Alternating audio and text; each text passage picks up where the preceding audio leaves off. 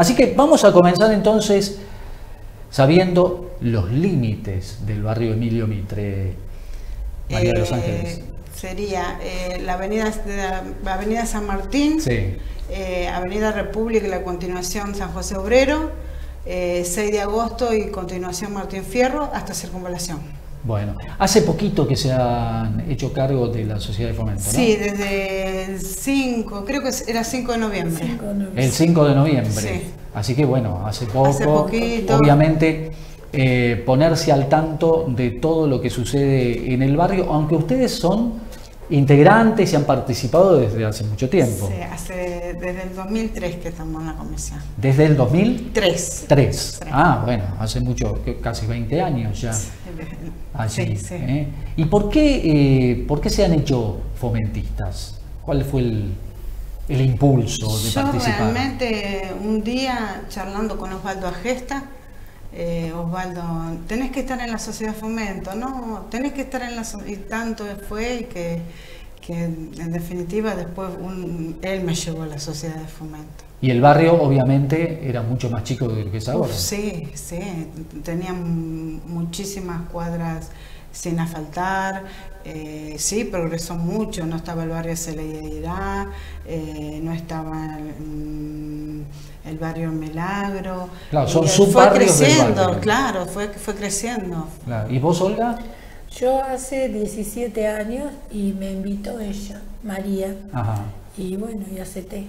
¿Y, aceptaste que te quedaste ahí Sí, ahí participando? Sí, participando. Bueno. Siempre en distintos puestos, Claro. pero estamos. Yo lo pregunto porque eh, muchas veces hablamos aquí con los fomentistas y nos dicen, la gente no participa, el vecino no participa, es difícil que vaya a la sociedad de fomento, que se interiorice, pero después para reclamar están. Sí, ¿eh? que eso eh, eh, es este, lo que sucede en general, ¿no? Bueno, hay que involucrarse, hay que participar, hay que ir a las reuniones, ver qué pasa en el barrio y un poco también este segmento de Por los Barrios nació por eso, para mostrar lo que ustedes hacen y también lo que eh, se reclama, lo que se hace o no se hace o falta hacer en el barrio. ¿Qué falta en el barrio, María de los Ángeles? Y falta iluminación, Ajá. iluminación, que es eh, lo principal para la seguridad. Eh, algunas cuadras de gas que también estamos, quedó en, el- en el centro del barrio, cuatro cuadras, por ejemplo, sin gas. Este, después hay sectores que tampoco tienen gas. Y, y bueno, que ¿Y las está proyectado, calles que- digamos, eh, este, eh, o sea, eh, nosotros hicimos hace muchos años, los consorcios armamos un poco Sí. de esas cuatro cuadras. El otro día, va, eh, en diciembre estuve con Mariano y le comenté. Mariano Espadaro. Mariano Espadano. Y me dijo que se iba a fijar a ver qué nos servía para volver a armar eso y, y ver cómo, cómo se sigue, si tengo que volver a armar los consorcios, para hablar con los, para charlar con los vecinos. Claro, A claro. ver, a Porque ver ahora si- hay eh, un proyecto de una cuarta, creo, una cuarta una planta de cuarta planta de... ¿Que estaría incluido el barrio? Sí, sí, sí, Ajá. sí. Bueno, eh, se ha puesto luz LED en muchos de los barrios de la ciudad. ¿Ahí llegó la luz o no? Mm, Llegó la luz LED solamente en Hipólito Yrigoyen hasta Avenida La Plata. Ajá. Y después seguimos con los colgantes, el- eh, que por ahí los sacan los camiones, se desprenden, se los llevan, eh, y sin los pescantes. Claro. Y, o por ejemplo, tengo un caso en, en Gandini y José Mayo que se llevaron una luz, una iluminaria, eh, sacaron la columna, la extrajeron hace como... Y cuando nosotros subimos hacía como dos meses que no estaba, así que ya hace bastante tiempo y bueno, hemos reclamado para que la vuelvan a reponer porque eh, eh, hay muchos árboles, las copas de los árboles hacen que, esa esquina esté muy oscuras y, se, haya inseguridad. Entonces los vecinos están reclamando eso. Nosotros ya hicimos el reclamo. nosotros. Estamos viendo calles de, de- de tierra eh, en el barrio. ¿Qué pasa con el regador? Porque muchos se quejan de que se riega poco. no, el regador brilla por su ausencia. Villa por su ausencia. Ah. El otro día me llamó un vecino eh, pidiéndome el regador. eh, porque dice que pasa por eh, San José Obrero y él está sobre Aparicio Ajá. y lo ve pasar nada más Claro. regador, porque por Aparicio no pasa.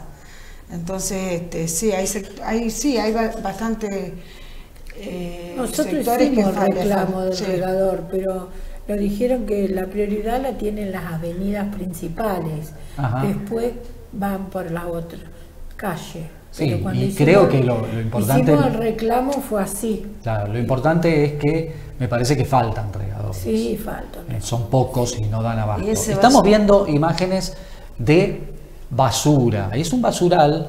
Estas son imágenes de ahora, ¿no? De ahora, de ahora. Eh, De hoy, Eso, precisamente. eso se limpió en el mes de agosto del 2021, se Ajá. limpió todo y no quedó nada. No quedó nada, pero nada, ahora nada, volvemos. nada. Y bueno, eh, los vecinos, la gente que va de otros barrios a tirar basura. ¿Son de otros barrios o del barrio? Y hay de, hay de todo, hay de todo un poco. Hay mucho del barrio, del barrio nuestro. Y, y hay gente que va de otros barrios. Estas son imágenes del año pasado. ¿Eh? Esto es lo que pasaba el año pasado, eh, que nosotros también fuimos a registrar allí, que después fue, como me decía, En agosto se limpió todo. limpiado y ahora volvemos con problemas Otra vez, otra de vez. ese tipo. Fíjense que hay ahora la maleza, obviamente. Sí, eso eso es la esto es actual, ahí vemos. Pero la basura, Bueno, ¿qué, qué, qué, qué problema que tenemos los ciudadanos de esta ciudad, pasa también en otras ciudades, con esto de la basura de tirar en cualquier lugar, ¿no? ¿Cuándo hay un servicio de recolección? Un, tema personal, falta Claro. de, de educación individual. Ustedes tuvieron un grave problema hace 20 días con un eh, taponamiento de las cloacas Sí. allí también, ¿no? Sí. Pero cuando abrieron eso se encontraron con que Eh, yo no estaba, pero bueno, Osvaldo Giapor me contó que te- había un cuadro de bicicleta, había... Eh, En las cloacas. eh, sí. un cerdo. un cerdo, eh, mucho trapo, me dijo Osvaldo. Claro, claro. Eh, y no sé, otros decían que había un, un- también parte de motos. Que también tiran por las clacas, increíble. Sí. Claro, eso también viene de otro Viene de otro barrio, porque creo que viene desde, de- desde Villa Belgrano, todo eso desemboca ahí. O sea que no se puede decir si fue en nuestro barrio o fue en- de dónde viene eso, no se sabe. Ahora, porque muchas veces decimos, eh, vemos las consecuencias de esto, pero no sabemos qué es lo que lo produce. Es bueno eh, decirlo porque no hay sistema cloacal que aguante así, no. Ni pluvial tampoco, porque tampoco hay que tirar cualquier cosa al sistema pluvial. Había un tapón grande. y Claro, eso, eso, que- es- eso estaba en, en San José Obrero y Borchet. Claro. Ahí fue donde rompieron y, y- y con la excavadora llegaron a los 7 metros, rompieron y sacaron todo eso. Ahí estamos viendo también, eh, La construcción de vivienda. este barrio es nuevo. Sí. ¿no? Sí, no sé si es de Procrear, me parece. Claro, de sí, Procrear. sí. También en Eso ese es en Borché y San José Obrero. del Emilio Mitre. Sí, también pertenece a Pertenece al milímetro. ¿Hay mucho baldío o todavía? Y se- sí, hay un- una parte que es un, un campo, el campo de Boni, que eso Boni lo quería, quería eh, entregarlo a la municipalidad, pero quería que tuviera todos los, los servicios. Y, y bueno, no sé, eh, eso se tendrá que poner de acuerdo Boni con... Claro. Y, y por ahí también se hizo el, el primer el, plan proyectar el, el número uno, El, el número que uno. se inauguró claro. ya en- también en agosto, por ahí. El proyectar uno que se eh, sorteó. Sí. Claro, está, está ubicado también dentro de lo que es el Sí, radio está de- sobre Capitán Varga y, del Emilio Mitre. San José Obrero ahí. Eh, en el ámbito, en, en el tema seguridad, ¿cómo está? Porque vos me decías, eh, influye el tema de iluminación también Sí. por la noche, bueno, falta iluminación, eso eh, conspira contra la seguridad. ¿Hay delitos? Eh, ¿Los vecinos se quejan o no? Mira, Eh, con respecto a los vecinos si se quejan, por ahí yo me entero algo de que alguien viene y me cuenta, pero Claro. realmente los vecinos, eh, cuando hubo este problema de la, cueca, de la cloaca, ninguno vino a decirme, eh, podés llamarnos, ayudar, nada. Eh, yo vi la situación y intervenimos mm, porque teníamos que intervenir, pero no Claro. porque algún vecino vino con ese, con, a, a contarme qué estaba pasando.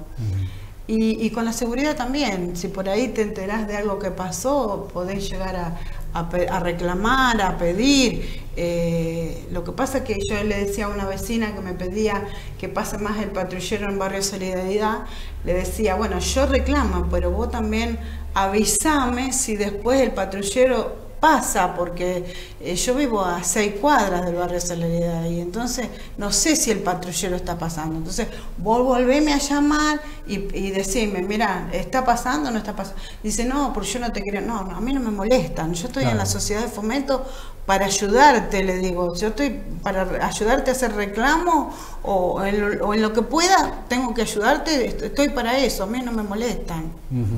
Eh, eh, Nos habían viendo- prometido sí. unas cámaras, discúlpame, unas Ah. cámaras de seguridad en Capitán, va, a mí no, a la, a la gestión anterior a Patricia le habían prometido y había hecho una reunión con vecinos, una cámara de seguridad en Capitán Vargas y Avenida San Martín. Capitán Vargas y Avenida San Martín. Sí. Ajá. Un sector ahí también Sí. importante. Sí. De, de- de- de mucha circulación también, porque es, digamos, que termina la Avenida San Martín. Eh, eh, hay un cruce para el otro barrio, entonces este, sí, es importante.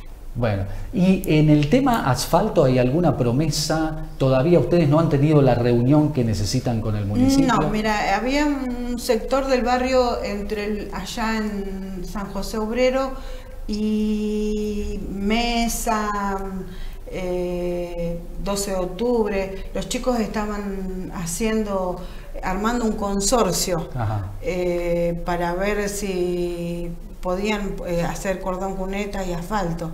Eh, lo que pasa es que después no le daban los costos. La municipalidad dijo que ellos, ella, el- ellos colaboraban, Claro. iban a colaborar. Pero bueno, ahora tendremos que después de, de- Mariano está entrando de las vacaciones ahora, así que después tendremos que reunirnos con Mariano a ver qué, qué va a pasar. Y con Sí. los chicos que estaban armando el consorcio. Ahí estábamos viendo eh, la sede de la Sociedad de Fomento, que está en una esquina. ¿En qué esquina está? Eh, Eh, en Avenida La Plata y Remedio Escalada de San Mateo. Avenida La Plata de Remedios Escalada. Una sede que en su momento ustedes utilizaban también para alquiler, para, para festejos de 15 años de los, de los vecinos y demás, y ahora eso está parado. Está parado. Nosotros después de la pandemia no, no hemos utilizado ningún salón. Ajá. Eh, ¿Por qué motivo? ¿Por la pandemia? ¿O por Y otro? porque mm, gen- eh, eh, el- el- la situación es que la eh, se puede usar con un aforo del 70%. Ajá. Por ejemplo, en el salón grande entran 110 personas, el 70 y pico de personas, en el chiquito 49, y, y- y también hay un, un límite de horario hasta las 2 de la mañana. Ajá. Entonces, por ahí Gente no, la gente... Claro, no le conviene. No. no les conviene, ¿no? No les conviene y van a otras opciones. Claro, Ahora, Ah, ¿por qué ustedes.? Aparte después se pagan los impuestos, Sí. a de ahí, entonces Claro. mm, se va mucho dinero. ¿no? Ahora, ¿por qué a ustedes les ponen estas restricciones y a otros, bueno, organizadores de eventos no? Digo. No sé si después tendrán multas, si, si se controlarán la cantidad de gente que, entra, ¿no? No sé cómo, No no sé cómo se manejan los, los locales privados. Claro, claro. No, no sé. ¿Actividades dentro de la sociedad de fomento En este momento no? eh, comienza hoy taekwondo. Taekwondo. Taekwondo. Ah. Es un chico, eh, se llama Juan Agustín Fidalgo y ya estuvo el año pasado y comienzan las clases hoy. A las 7 de la mm, tarde está, hasta las 19, de las 19 a las 22 horas. Ahí, dentro de la sociedad de Dentro de fomento, la sociedad de fomento. Ya están todos inscriptos seguramente, pero seguramente Sí, ya tiene, alguno, sí. alguno que se quiera inscribir lo puede hacer. ¿eh? Sí, sí. ¿También tiene un, un aforo o no?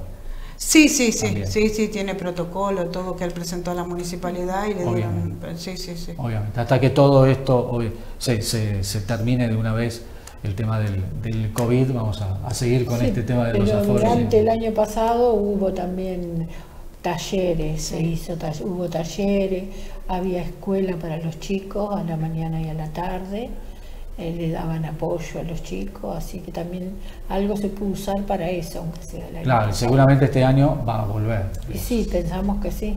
Bueno, ya nos enteraremos entonces. Bueno, María de Los Ángeles y, y Olga, muchas gracias por estar aquí. Eh, son muy nuevitas en la sociedad de fomento, digamos, presidiendo la sociedad de fomento, como pro tesorera y demás.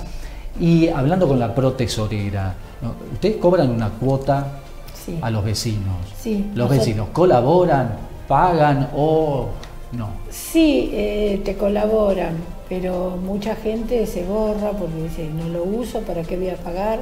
Pero sí, hay bastante que sí. Tenemos 100 socios. 100, teníamos más antes. Teníamos más, pero bueno, con la pandemia Muchos, viste, como no se podía usar para nada. Claro. sí. Claro, bueno, pero ustedes tienen que mantener el lugar, Sí, porque sí. les cobran la luz. Y sí, tenemos que pagar la luz, el gas. Nosotros Tenemos durante- gastos fijos, sí, Sí, la luz y el durante gas. toda la pandemia hubo que pagar la luz, el gas, todas esas cosas se tuvo que pagar lo mismo. Claro. Y al no tener salones a poder alquilar nada, no teníamos, teníamos lo de la cuota nomás, que eran, y aparte cobramos 50 pesos, una miseria Claro, por nada, mes. Nada, nada. Y bueno, viste, y bueno. Son centavitos de dólar. Sí, ahora sí. ¿Eh? bueno, eh, a las dos muchas gracias eh, por estar aquí, Bueno, gracias. este, por, por- Gracias a por vos. participar, por comprometerse también con, con el barrio. Así que vamos a estar seguramente más adelante charlando sobre otras cuestiones que tienen que ver con el barrio, cuando ya tengan reuniones con el municipio, ya sepan un poquito más también eh, qué es eh, lo que tiene proyectado el, el El gobierno, municipio o el claro. gobierno local para eh, los barrios, porque mucho no se sabe, ¿no? Mucho no se sabe.